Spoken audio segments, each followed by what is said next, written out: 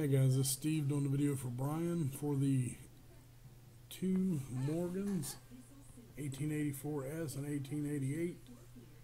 Here's the list. I'll type live.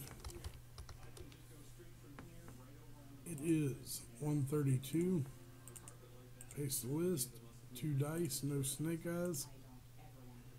Going five times. It is 132. Good luck. One, two, three, four. Monica on top, Joe on bottom. Dice rolls five. It's 132. Fifth and final time. Good luck. Joe, spot three. Five times. Five on the dice.